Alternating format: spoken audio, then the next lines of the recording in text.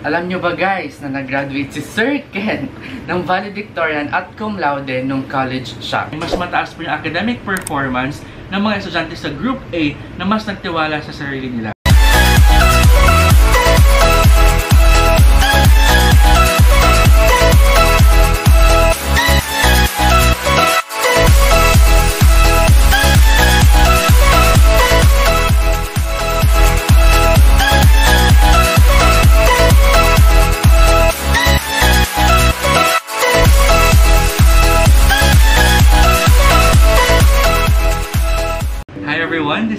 And this is Matt and welcome to our YouTube channel. So for today's vlog, we'll be sharing 8 study tips for students proven by science. So last week, as you can see in our vlog, I shared a day in my life as a student at Nanyang Polytechnic University of Singapore. That's why I'll be sharing some study tips and also we will add some study tips based from that experience proven by science. So this is perfect for the students na ongoing na yung pasok ngayon at magpapasok na. So you can prepare and take note of these study tips. For the first study tip, ask yourself. Tama, di ba? Tanungin mo sarili mo, bakit ka tinatamad? Bakit ka lagi naglalaro ng games? Bakit ka lagi nanonood ng Netflix? Bakit ka lagi nanonood ng YouTube videos? Or bakit ka lagi nakatutok sa social media? There's nothing wrong about that, but you should know your limits. You have to go back to the main cause or the root cause kung bakit hindi effective ang pag-aaral mo. Okay, that's actually right, Matt, because if you do not know the root cause, parang sakit eh. Okay, pag hindi mo alam kung ano yung sakit, you can't give the proper medication to it. Kapag hindi mo alam yung root cause, hindi mo alam kung ano yung next step na gagawin mo. So you have to assess yourself first kung bakit di ka nakakapag-aral ng maayos. Maybe you're giving too much time sa panonood ng Netflix. Maybe you're giving too much time sa pag-focus sa mga di naman important details sa lesson. So you have to ask yourself first, bakit ako di effective na estudyante? Bakit ako di effective mag-aral? You have to acknowledge that. So that in the next step, alam mo na agad kung ano yung susunod na gagawin mo, just like any disease as you give medication to a patient. For the second tip, mindset. Sure ako karamihan sa inyo mag-agree sa akin na minsan wala sa talino yan na sa tamang pag-iisip o positive mindset kung paano mo i-handle o tatapusin ang isang bagay. Tama ba, Sir Ken? Tama yun, Matt, kasi actually as a teacher, may mga estudyante na kahit matalino sila, mabilis silang ma-overwhelm sa mga task. Minsan, kulang yung kumpiyansa or tiwala sa sarili. Remember, if you can't believe in yourself, paano mo magagawa yung isang task? Agree. Paano ka magiging convincing sa harap ng isang audience, sa mga classmates mo, kung ikaw mismo wala kang tiwala sa sarili mo. Either as you speak during online classes or as you submit your output. So, make sure na may right mindset ka o tamang pag-iisip or tiwala sa sarili para magawa mo yun. Actually, Matt, I'm going to share one study Mhm. na ginawa ni Blackwell noong 2002. Merong two groups. First group, sila yung estudyante na according to survey na ginawa ng researcher, mas nagtiwala sila sa self nila. And the second group naman, sila yung medyo may mindset sila na parang, ah, hindi ko to kayang gawin. Hindi ko mapapasa yung examination. Now, guess what? The results na nandun sa study ay mas mataas po yung academic performance ng mga estudyante sa Group A na mas nagtiwala sa sarili nila. So, sometimes, it's not about the wit or your intelligence. It's about how you believe in yourself. So, make sure in your next online class or next time as you do a task, make sure you would believe in yourself para alam mo na kaya mo yung gawin at magiging maganda yung outcome nun. Sure. For the third tip, law of readiness. You have to focus. Hindi ka papasok sa isang bagay kung hindi ka handa. Kumbaga, hindi ka sasabak sa isang gera kung hindi kumpleto yung mga armas mo o yung mga tauhan mo. Tama ba, Sir Ken? Tama yun, Matt. Kasi actually, when you study, dapat andyan na lahat. Okay? You know, one tip as a student before, and even up until now, na may mga times na ready na lahat, akala mo ready na lahat, pero ay wala pa pala akong ballpen, wala pa pala akong eraser, ay yung wifi pala kailangan kong i-restart kasi mabagal. Mhm. So make sure, yung law of readiness, nire-remind tayo na actually galing siya kay Edward Thorndike, hindi na siya basta haka-haka or basta lang namin ginawa. So ibig sabihin nun, you have to be prepared before ka mag-start. Dapat andyan na lahat. So dapat may checklist ka, Matt, kung ano yung mga kailangan mo pag mag-aaral ka. Also, one tip, dapat nakaligo ka na. Kasi iba yung feeling after mo maligo. Kasi pag hindi ka pa naliligo, di ba minsan hapon, nag-start ka ng task, Tatamarin. ka. After mong maligo, actually may effect siya sa'yo na parang you're ready to get things going, to get things started. That's also one tip na pwede namin maibigay. Law of readiness. You have to make sure that you are prepared before you start with the things na gagawin mo. Remember, once you are prepared, you can get things done effectively. True. For the fourth tip, you have to know your learning style. We have our own different learning style. Alam nyo ba guys, na nag-graduate si Sir Ken ng valedictorian at cum laude nung college siya. So I have to ask this para malaman din ng viewers natin. Ano yung mga learning styles at ano yung learning style na ginamit mo? Well, actually, Matt, nung nag-aaral ako, hindi ko talaga alam kung ano yung learning style. So, one thing that I would do when I was studying is, I would prepare for examination weeks before, before siya mangyari. Hindi ako nagka-cram. I also make sure na alam ko when and how to start studying. So, ngayon, you're very lucky because you will know the different learning styles and paano siya gagawin. So, just answer the question ng learning style ko before math. Yung lahat ng na-memorize ko, I'll make sure to translate it in my own words. Also, I have to write down kung ano yung mga na-memorize ko, na-familiarize ko. Because I really believe that time, and up until now, if you can translate it in your own words, you did not fully understand the lesson. So, eto na. May babasahin kaming four learning styles from the Grand Canyon University. May tinatawag silang VARK model or the VARK model, which stands for Visual, Auditory, Reading, and Kinesthetic. So, pag visual learner ka, ikaw yung learner or ikaw yung estudyante na mahilig sa mga diagram, sa mga structure. Mahilig ka din sa mga colorful na mga handouts. Usually gusto mo yung mga images. Images, true. Okay? Kailangan mo ng table, kailangan mo ng graph para mas maintindihan mo yung lesson. Okay? Another one, second natin meron tayong auditory. Okay? That's why, Matt, hindi tama na parang iniisip mo na, ah, kailangan ko lagi mag-notes. Because there are some students who can survive even without taking down notes. Because these are auditory learners who just love to listen to their teachers as they give lectures. Dapat nakafocus ka na lang sa teacher mo, full attention as you listen to your teacher. Yun yung auditory natin. Pangatlo, meron tayong reading or writing. Ito naman ako, Matt, nung estudyante ako. So, mahilig ako sa words, mahilig ako sa books, mahilig ako sa text.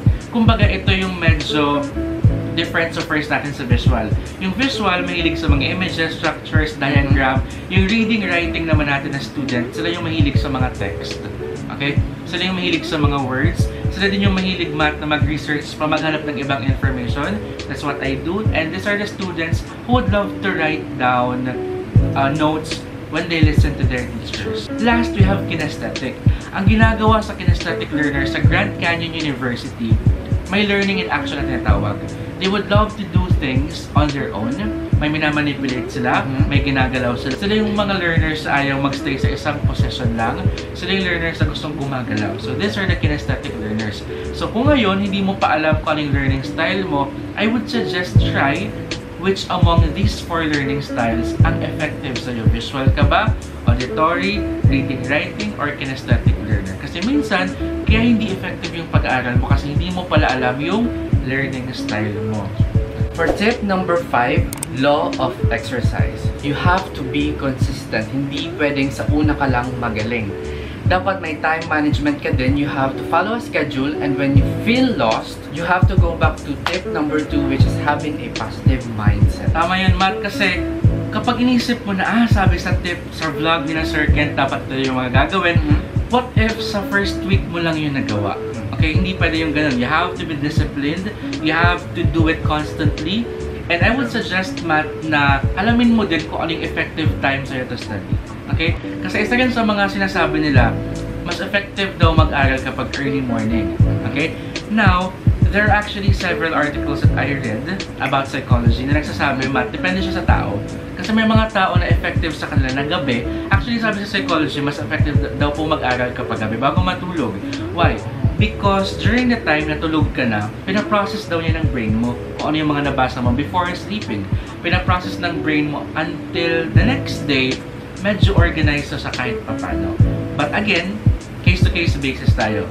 May mga students, may mga tao na mahilig silang mag-study at mas effective kapag early morning at meron namang mas effective kapag gabi. Sa mga students natin dyan, you have to discover kung ano yung mas effective sa inyo. I would suggest, try studying kapag afternoon, try studying kapag after lunch, try studying kapag early morning.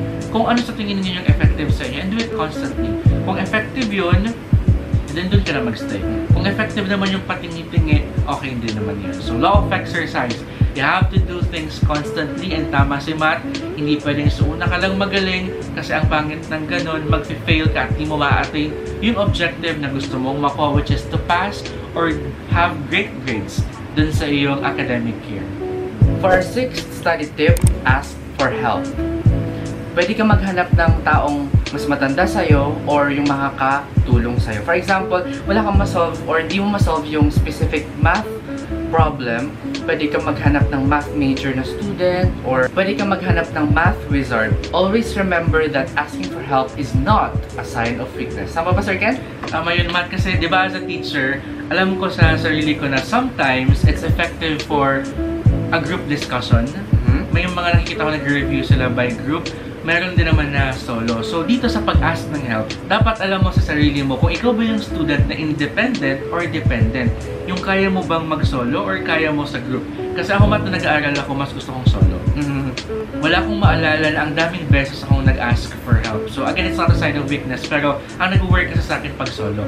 So minsan, hingi lang ako ng help, not really from time to time, pero most of the time talaga, I would prefer to study alone and ask myself alone. Even kung nag-review actually sa pageant, solo ko usually nag-aaral doon. So, also, one help that, or one site that can help you is Course Hero.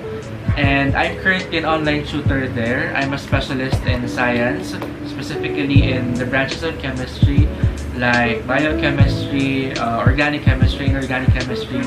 So if you're going to ask for help, I would suggest na higher year na lang sana. I'm not judging a certain section, okay? Yun ang na-observe ko as a teacher. I'm already, uh, I'm already on my fifth year of teaching and yun yung common. May mga competition na nangyayari, mini competition na nangyayari. Pwede rin naman go directly to your teacher. Huwag kayong mahihiyang magtanong sa teacher or professor ninyo kasi trabaho po nila yan. Pero syempre, bago humingi ng assistance sa teacher, make sure na ginawa mo din yung part mo. Hindi pwedeng ang blame sa teacher lang lagi. Hindi rin naman pwedeng sa estudyante lang, lang lagi. You have to meet halfway. Also, finding help ay pwede rin sa tao, pwede rin sa internet, True. kung saan ka comfortable. Again, asking for help is not a sign of weakness. For our seventh study tip, have a break. Siguro naman lahat tayo mag-agree na having a, having a break is good to refresh your body and brain to increase your energy, productivity, and ability to focus. So, hindi actually tama na straight ka mag-aaral. Kasi True. minsan, after an hour, yung brain mo kailangan din ng pahinga. eh. Actually, isa sa mga share ko sa na nangyari sa Nanyang Polytechnic University, sa isa sa mga klase ko, or everyday actually, kapag tapos na kami ng one hour, may break kaming 10 minutes. Okay? Hindi pwede sa Nanyang Polytechnic sa Singapore na during your break, may seat work pa ang teacher. Hindi pwede yun, Matt. Ang ginagawa namin kapag break, dapat tatayo talaga kami, dapat kakain kami, inom ng water. Hindi pwede na nakafocus pa rin yung mind mo o yung eyes mo sa screen or sa social media mo. That's why it's not actually right to use social media as your break. Why? Kasi minsan, ang tagal lang, tagal mo na lalo eh. Mas mahaba pa tuloy yung break mo kaysa sa Okay. study mo. Yung sinasabi natin sa first tip natin, you have to ask yourself kasi minsan, alam mo naman yung sagot kung bakit di ka effective mag-aral. Okay? Kasi sobrang dami lang tayo mo sa social media, pero konti yung time mo sa studies. Hindi pwede yun. Okay? So, on the link or I will put the link on the description if you wanted to read the research saying that social media is not actually the right way for you to unwind or for you to have a break. Mhm. Okay? Taking break in the middle of every hour or pwedeng every after 30 minutes or after 1 hour sana maximum na yung 1 hour na pag-study. After 1 hour rest ka, 10 minutes lang yun. I would suggest, Matt, na mag-alarm kayo. Kasi minsan di mo napapansin eh. Mm. Minsan chumika ka na sa mga barkada mo, chumika ka na sa family member mo, nakita mo na yung pet mo sa bahay. Yes. So make sure mag-alarm ka para balik ka ulit doon. Okay, remember, the purpose of break is not for you to relax already or to relax totally. To relax for a while pwede, but not to relax totally. Na nakalimutan mo na kung ano yung gagawin mo or yung ginagawa mong pag-aaral.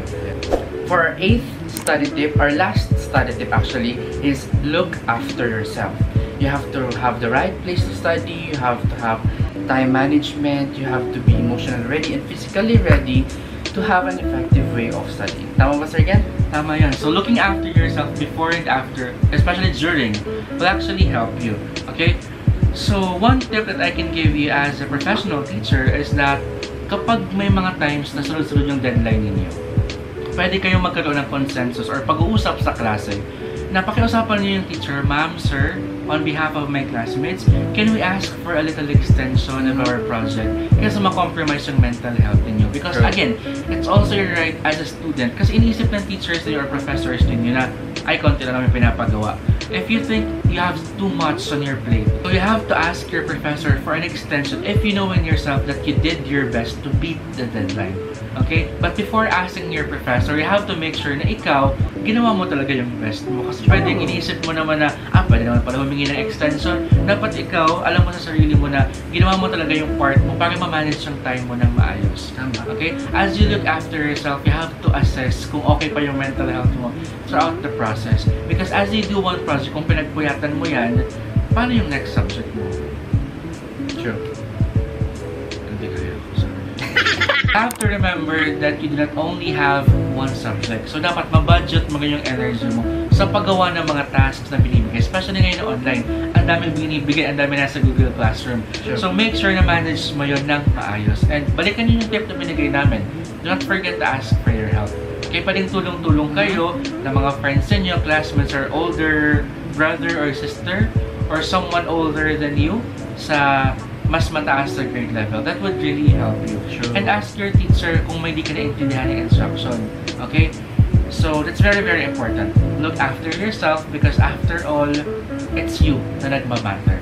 Today is the right day for you to manage your time well and learn how to focus on the things that really matter, especially when you do your tasks. True. So there you have it guys. Ayun na po yung 8 study tips for students proven by science. So, we will just put the links of the references na ginamit namin. Kasi mix yun. These are based from science and also from our experience as a student and of course, me being a professional teacher. If you have any suggestions kung ano pwede namin i-help sa inyo sa aming next episode, like tutorial kung paano mag-present online, how to conquer fear when presenting in online classes, how to prepare your assignment, how to do your project efficiently, you can just comment it down on the comment section or email us at kenxmat at gmail.com. Again, you have to be consistent to have an effective way of studying. Thank you guys for watching, but for now, please don't forget to like, subscribe, and Don't forget to hit the bell button for you to get updated on our next episode. thank you guys for watching. Stay safe po.